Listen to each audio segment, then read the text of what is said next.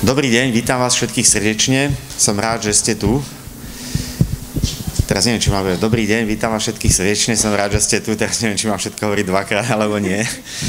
Uh, naozaj sa teším z tohto projektu. Uh, som rád, že je tu taká významná umelkyňa medzi nami, ktorá je naozaj nie len umelkyňou v významnou v rámci Československa, ale už myslím si, že jednoznačne v rámci Európy a je to pre nás mesto veľká česť, že Katežina Šeda je vlastne tu s nami v Trenčíne a robí tento skvelý projekt, ktorý uplatňuje e, spolu s nami. A ja som vám veľmi vďačný za to, že ste sa do tohto projektu zapojili aj tí, ktorých tu vidím. Či už sú to naše reholné sestričky, ktoré tu vidím, dobrý deň, e, naši policajti, alebo ľudia z divadla, e, kaderníci, proste ľudia, ktorí tvoria súčasť a kolorit tohoto mesta a ktorí sú vlastne mesto. Lebo ako sa hovorí, mesto nie sú budovy, mesto sú ľudia z mesa, z kosti a tí tvoria všetko to naokolo. Európske hlavné mesto kultúry je niečo, čo už je vo finále, blížime sa do finále, v decembri sa má rozhodnúť o tom, že či to bude Trenčín, či to bude Žilina, alebo to bude Nitra. My robíme všetko preto, aby to bol Trenčín a aby sme tento projekt v našom meste uplatnili. A ja vám poviem prečo. Nie preto len, že môže doniesť niečo aj hmotné, ale práve naopak on môže doniesť niečo, čo zapojí veľkú časť Trenčanov do tvorby kultúry v tomto meste že sa nebudeme spoliehať na to, že kultúru bude robiť mesto, budú robiť nejakí zamestnanci mesta, bude ju robiť nejaký primátor, primátorka alebo niekto, ale že ju budeme robiť my všetci, ktorí tu žijeme, ktorí tu dýchame náš spoločný vzduch a ktorí milujeme naše mesto. A je to zmena myslenia. Čiže aj tento projekt, ktorý sa niekomu zdá šialený, už som čítal rôzne hejty aj na Facebooku o tom, na čo to robíme a že by chceli niektorí až e, dva, dva, dva platy navyše a tak, tak e, e, niektorí to ponímajú kriticky, niektorí to vítajú, ale to je práve zmyslom takýchto projektov, aby vyvolával zvedavosť. Presne to, čo je motívom našej kandidatúry, Eh, kultivácia zvedavosti, cultivating curiosity. Niečo, čo vlastne vyvoláva zvedavosť v tom, že ľudia začnú premýšľať a skúmať, čo to má znamenať, prečo to tak je a našou úlohou je presne tie veci potom posúvať dopredu. Nie len v meste, ale aj v nás vnútri samých. Ja by som sa chcel poďakovať týmu EHMK aj Katežine za tento projekt, veľmi si to vážime. Verím, že vy všetci, ktorí ste sa do neho zapojili, budete mať na neho pekné spomienky. A zároveň verím, že keď by sa náhodou v decembri stalo, že by naše mesto uspelo, takže vlastne sa stávate súčasťou a ste už súčasťou histórie tohto krásneho projektu, ktorý dúfam, že dopadne, ako myslím, Európske hlavné kultúr, mesto kultúry dobre pre naše mesto. Ďakujem veľmi pekne, želám Katežinu, aby to dobre dopadlo, dúfam, že sa v Trenčine dobre cítite a že sa sem rada vždy budete vrácať nie len dvakrát, ale stokrát a 500 krát a tak ďalej. Ďakujem veľmi pekne. Nech sa páči, máte slovo.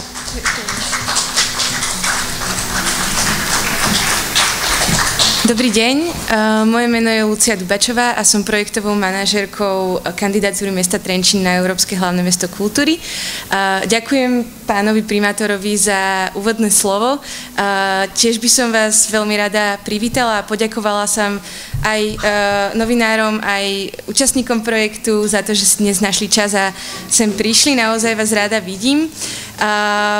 Pán primátor v podstate veľmi pekne zhrnul um, to, že čo má tento, to Európske hlavné mesto uh, vôbec mesto Trenčín priniesť, ale aj v podstate to, čo sa snažíme uh, už keby tak načnúť alebo zapáliť cez uh, projekt Sobota v nedeľu. Ja by som možno povedala trošku len k tomu, že ako sme sa k tej spolupráci vôbec dostali. My ešte počas prvého kola kandidatúry v roku 2019, uh, v roku 2020 sme um, pozvali Kateřinu na návštevu do Trenčína, kde si teda uh, prešla mnoho jeho častí uh, a mali sme s ňou mnoho, mnoho rozhovorov ohľadom toho, že ako by to mesto mohlo vyzerať, keby vyzeralo inak, keby možno tú kultúru presne ako povedal aj pán primátor, nerobí iba nejaká, nejaké kancelárie alebo organizácie, ktoré sú samozrejme absolútnym grom a absolútne uh, dôležité na to, aby, aby sme tu mali nejakú, uh, nejaké profesionálne pro, pokrytie alebo nejakú bázu, na ktorej môžeme ďalej stavať, ale uh, na ktorej by mohol stavať aj každý jeden z nás, každý jeden obyvateľ. Um, no a teda toto samozrejme nie je úplne možné spraviť uh, v rámci nejakého týmu desiatich ľudí, ktorí pripravujú kandidatúru. Uh, nie je možné komunikovať v podstate s tými stovkami a tisíckami uh, ľudí a ešte v podstate um, zaisťovať nejaké kultúrne aktivity. Uh, a to teda nie je ani úplne tým cieľom. Nás oveľa viac zaujímalo to, že čo by ten každý človek čokoľvek už je jeho zamestnanie, alebo jeho pôvod, alebo uh, jeho záujmy, čo by vlastne chcel, uh, čo je tá jeho kultúra, čo ho zaujíma a čo, čo by možno aj rád tvoril. Um, no a teda sme ohľadom tohto oslovili uh, Kateřinu, keďže uh, Kateřina sa zameriava práve na uh, takéto sociálne zamerané projekty, ktoré často zapájajú desiatky až stovky uh, ľudí do kultúrneho diania, uh, že či by nám vedela pomôcť. No a Kateřina mala tento fantastický nápad uh, ohľadom kompenzácie vecí, ktoré sme stratili, o ktoré sme prišli počas pandémie. A tak sme sa vlastne dohodli na tom, že by sme tento projekt mohli možno uskutočniť v Trenčine, čo teda je pre nás veľká česť a, a mám z toho veľkú radosť aj ja. Um, no a z čoho mám ešte väčšiu radosť je to, že už len pri prípravách toho projektu bolo úžasné sledovať, ako, ja neviem, napríklad uh, pri fotografovaní tí ľudia vôbec začali viesť rozhovory o tom, že čo, čo to vlastne pre nich znamená, že vlastne no možno by sme aj mohli zorganizovať nejaký festival, že, že máme tu medzi sebou nejakých hudobníkov, že možno by to bolo vlastne fajn, keby aj v mojej mestskej štvrti sa niečo deje a vlastne mám na to všetko, čo potrebujem, len akoby musím si povedať, že áno, aj ja môžem to spraviť.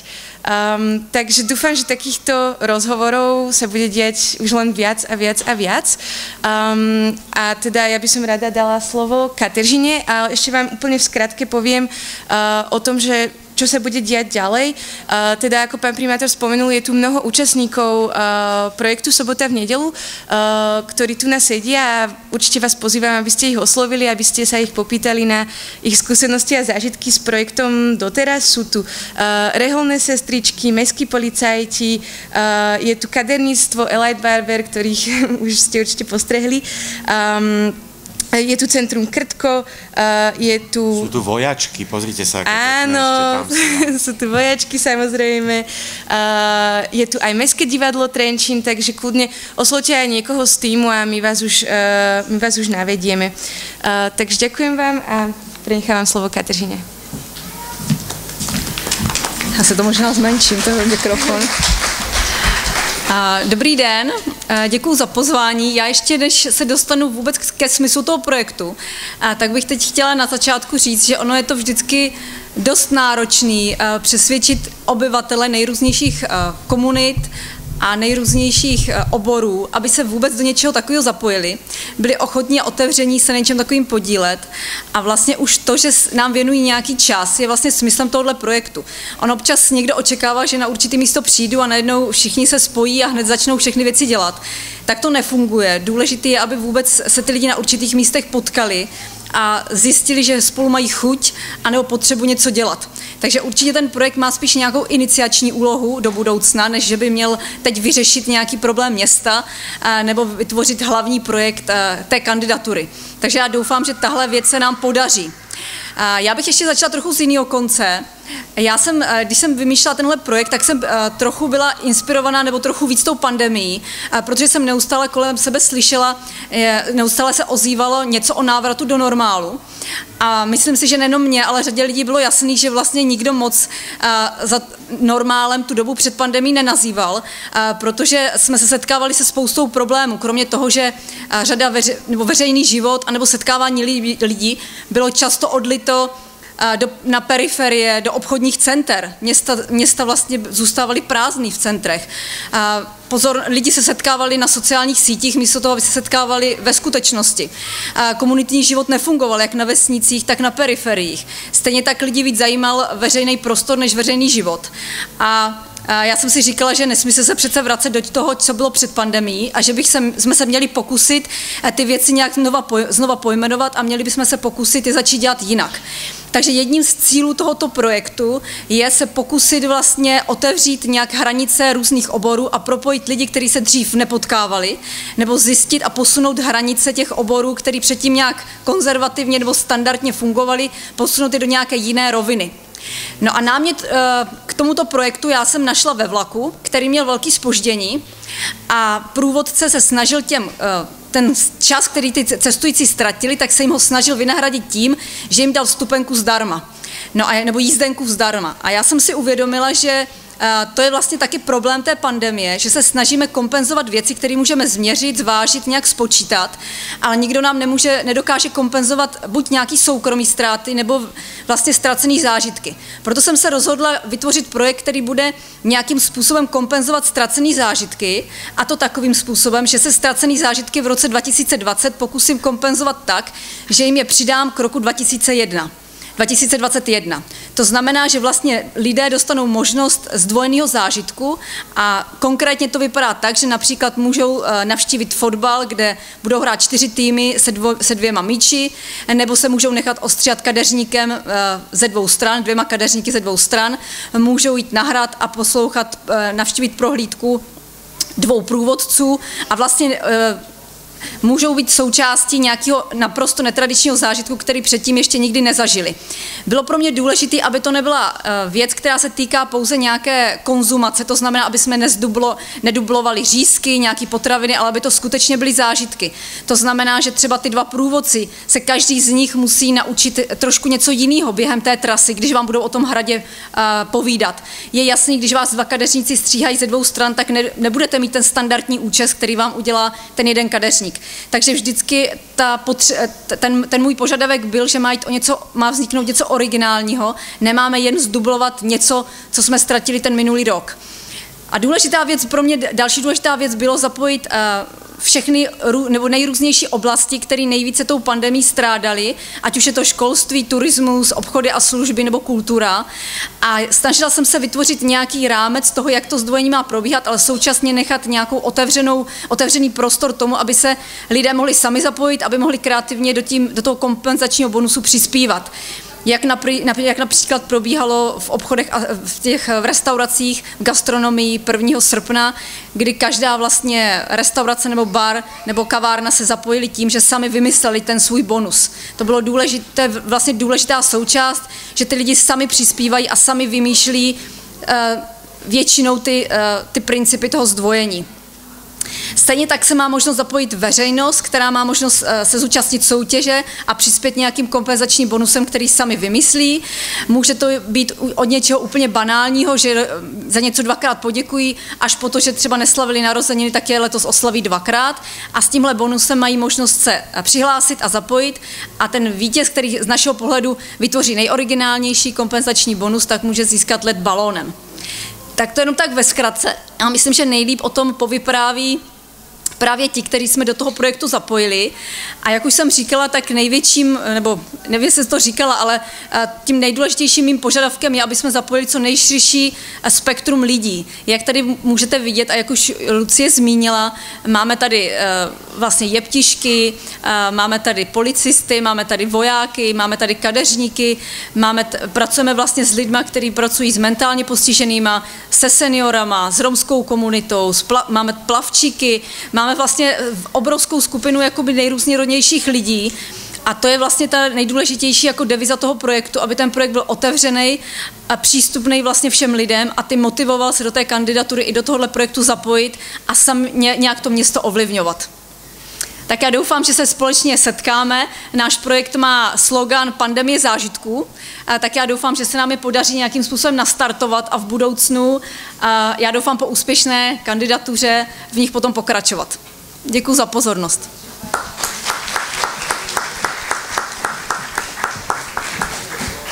Ďakujem, Katežino. Um, ja by som ešte rada pozvala pani Mišákovú a pani Grebocovú, uh, že by nám povedali zo pár slov o uh, svojom zapojení v projekte. Teraz... A pani.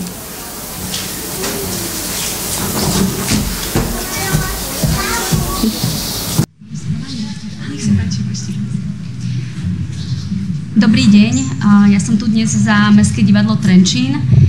Musím povedať, že naše občianske združenie s absolútnym nadšením sleduje to, akým spôsobom sa vyvíja atmosféra v našom meste, ktorá je zrazu veľmi kreatívna a privítali sme aj možnosť medzinárodnej spolupráce na základe inšpirácie pani Katežiny Šedej. Zapojili sme sa do projektu Sobota v nedelu, ale ako to už u umelcov býva, Eh, samozrejme, že sme myšlienku si osvojili, ale takisto sme ju trošičku rozvinuli ďalej a realizujeme ju takým spôsobom, že síce zahráme niektorú scénu pre divákov dvakrát, ale vždy je to trošičku inak. Eh, pri predstavení Bábka sme to spravili tak, že sme odstránili kulisy, ktoré dovtedy zakrývali vlastne časť e, scény a diváci to nikdy, nikdy nemohli vidieť a za tých 6 rokov, čo predstavenie uvádzame, to vždy bolo skryté a práve tento rok diváci vlastne videli, ako vzniká divadelná ilúzia vďaka tomu, že scéna bola odohratá aj druhý krát, tentokrát bez kulis. Uh, pri predstavení Romeo, Julia a Vírus, ktoré uh, uviedlo ako hostia Tulavé divadlo, sa zase Romeo a Julia zoznamovali dvakrát a keďže sme sa inšpirovali teda pandémiou zážitkov, povedali sme si, že ako by to asi mohlo vyzerať, keby sa Romeo a Julia zoznamovali počas pandémie. Takže opäť mali diváci možnosť uh, vidieť uh, takúto verziu. A mm, na margo toho, čo hovoril pán primátor, že sú rôzne uh, akoby reakcie na tento projekt, tak áno, priznávam, aj my sme chvíľku premyšľali nad tým, ako ho uchopiť. Ale bola to veľká provokácia pre nás, Strávili sme nad tým celkom dosť času a rozhovorov, až sme sa teda dopracovali e, k jednotlivým verziám, ako to budeme realizovať počas e, sobôd v lete. A to je veľmi dôležité, že naozaj sme sa nechali vyprovokovať a povedali sme si, že nájdeme cestu, ako to zrealizovať, tvorivo uchopiť a spraviť. To je prvá vec, ktorá je dôležitá pre umelcov, aby mali tú inšpiráciu. A druhá vec, ktorú považujem za veľmi dôležitú, a to je reakcia divákov. Uh, možno, že má niekto nejaký iný pohľad na vec, ale keď zahráte tú scénu duplicitne a zahráte ju ako bonus a zahráte ju trošičku možno inak a poodhalíte tým divákom nejaké možno tajomstvo a oni vám tlieskajú, tlieskajú, tlieskajú, tak to je tá najlepšia reakcia, ktorú si môžete uh, vlastne prijať a to je pre mňa dôkaz, že to dáva zmysel. Ďakujem veľmi pekne. Nech sa páči pani Grebocová z Centra Krtko. Takže dobrý deň, ja som uh, zo vzdelávacieho centra Krtko. Uh, naše centrum je centrum, ktoré pracuje s detičkami predškolskom veku, s rôznymi detičkami a hlavne s výnimočnými detičkami, pretože robíme aj s deťmi, ktoré majú rôzne druhy, či už zdravotného znevýhodnenia alebo, alebo rôznych, s rôznymi ťažkosťami.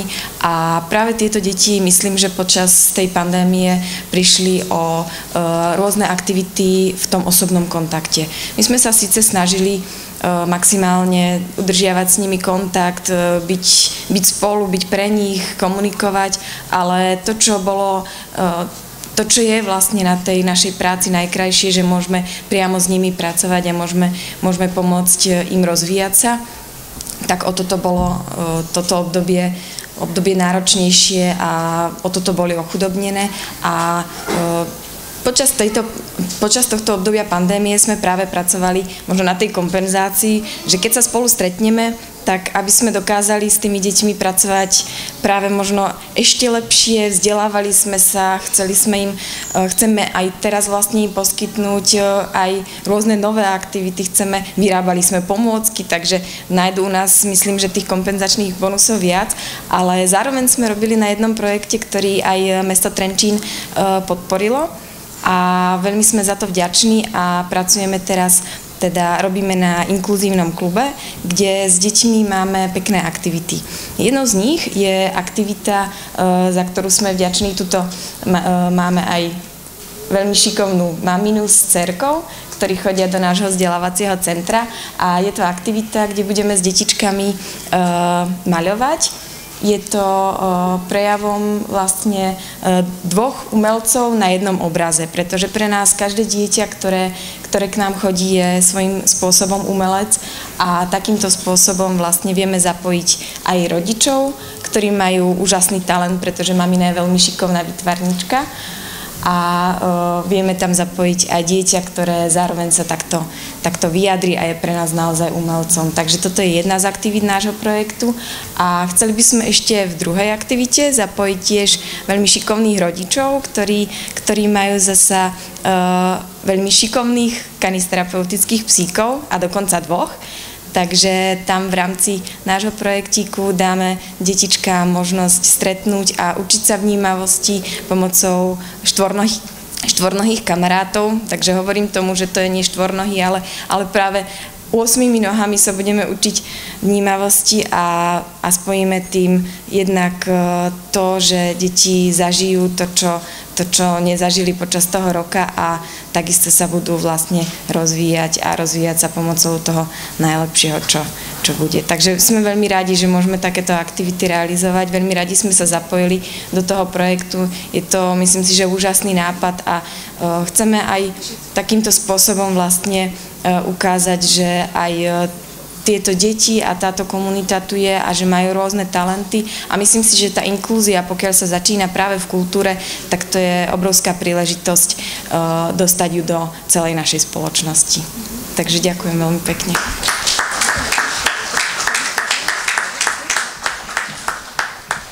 Tak a ešte tu vznikol taký nápad, že by sme veľmi radi pozvali všetkých ostatných, uh, pani sestričky, vojaci, policajti, ktorých tu máme, ale aj úplne všetkých ostatných, ktorí sú časťou projektu sem k nám na pódium. Prosím vás, poďte sem.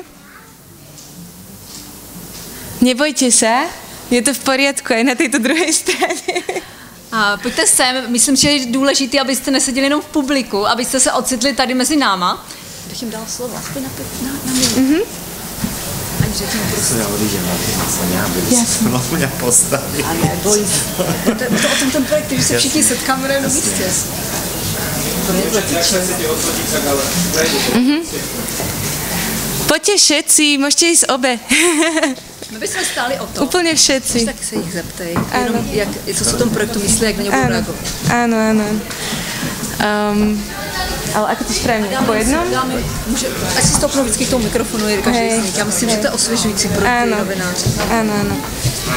No, tak môžem poprosiť možno najskôr vás na chvíľočku, lenže by Nás by teda zaujímalo, že čo si myslíte o tom projekte a že ako, uh, ako zatiaľ prebieha váš zážitok?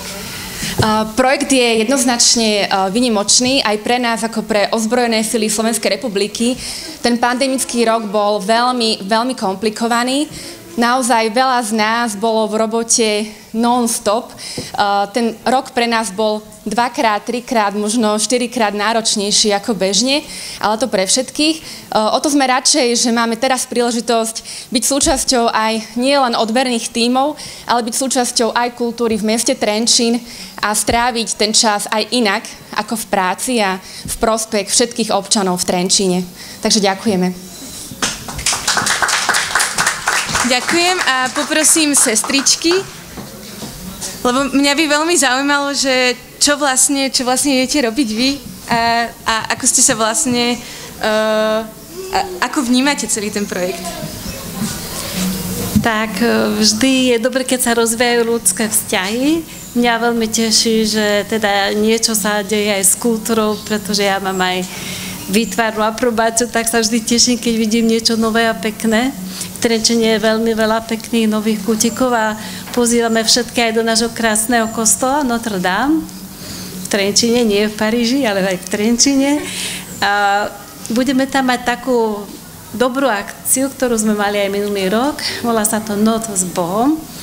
A je to také pozvanie zažiť niečo netradičné, že do kostola sa zvyčajne chodí ráno a cez deň, ale aj v noci sa bude dať. Takže 10. septembra by sme vás chceli pozvať na zážitky. Bude tam niečo, možno koncert, bude tam e, nejaké slovo, nejaká dramatizácia bude tam veľa príležitostí zažiť niečo pekné aj pre dušu a ducha. Tak asi toľko.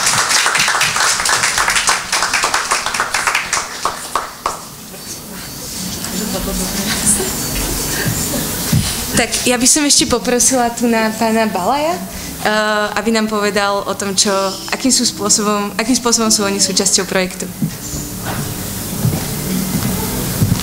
Pekný deň všetkým prajem. My sme sa zúčastnili v takých dvoch rovinách. Jednak na fotení. Za tú príležitosť ďakujeme Kateřine, bolo to super, super skúsenosť. A druhá taká rovina, v ktorej sa zúčastňujeme dnes po obede vo vzdelávacom centre Krtko, kde s našimi kanesterapeutickými psami poskytneme deťom zážitok, ktorý v minulom roku nemali možnosť zažiť, lebo boli teda opatrenia, aké boli.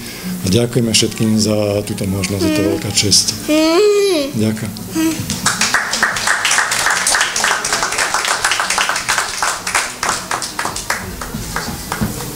Ďakujem vám a ja by som pozvala teda uh, pani a pána policajtov.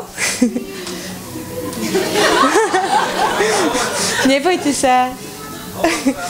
Le, len sa chceme spýtať, že...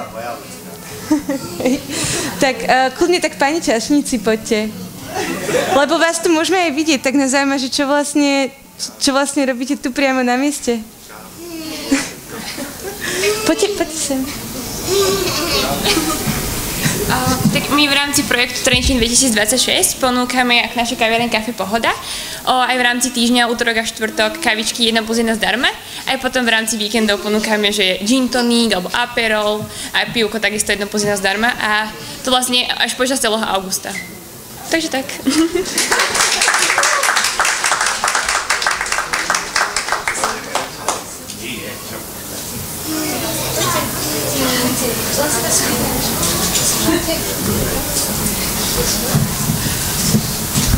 Tak, a ešte by som sa rada spýtala pána Juraja, uh, ako ste vy zapojení do projektu a čo si, čo si o tom myslíte, čo sa doteraz dialo?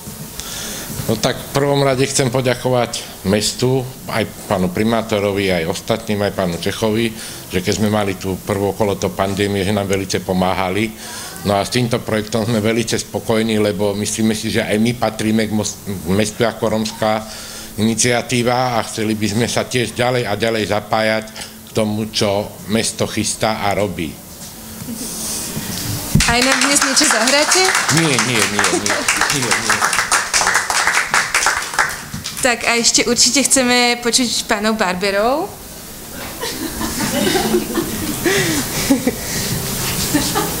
Bez otázky? Um, tak nás by zaujímalo, že ako, ako sú zatiaľ zákazníci spokojní s tými účesmi? No, zatiaľ máme iba jedného teda zákazníka. Ja si myslím, že si to veľmi užíva, pretože ten servis od dvoch je vždycky lepší ako od jedného.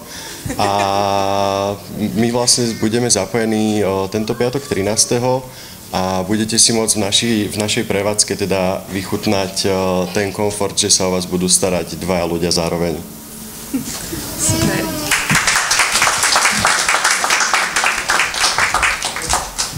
Já bych ještě řekla jenom, že to byla taková léčba šokem. My jsme je na to nepřipravili a oni teda skvěle zareagovali, takže se jim zároveň omlouváme, ale ono to vždycky lepší, když ty lidi jsou čerství a moc si to netrénují a řeknou hned, jak to je. Takže já jim taky děkuju.